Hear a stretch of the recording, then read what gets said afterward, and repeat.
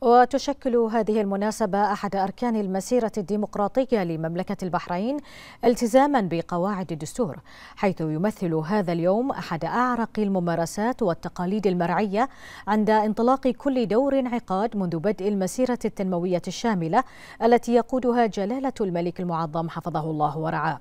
وبعد تفضل جلالته بافتتاح دور الانعقاد الثاني من الفصل التشريعي السادس